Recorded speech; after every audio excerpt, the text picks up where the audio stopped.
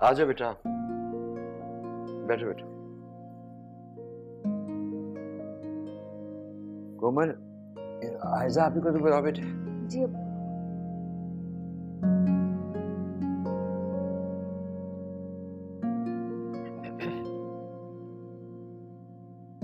Uncle मैं आपसे एक बात कर सकता हूँ प्लीज़ हम्म।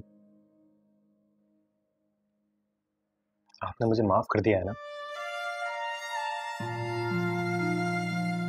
लेकिन बुज़ुर्गों का दिल दुखा के इंसान कभी भी खुश नहीं रह सकता है। तो अगर आपके दिल में अभी भी कोई भी नाराज़गी है, प्लीज़ उसको खत्म कर दें। मुझे माफ़ कर दें। नहीं बेटा नहीं अब ऐसी बातें करने की कोई ज़रूरत नहीं है। दामाद तो बेटे की जगह होता है।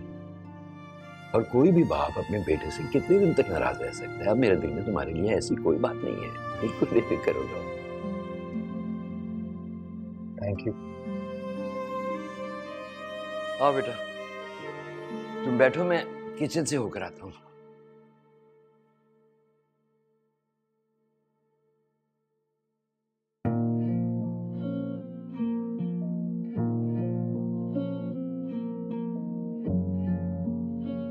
बहुत अच्छी लग रही हो।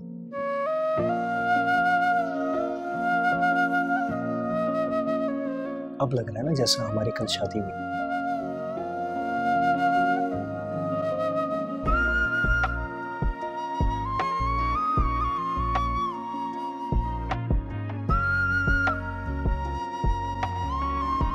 Subscribe and press the bell icon to watch the latest dramas.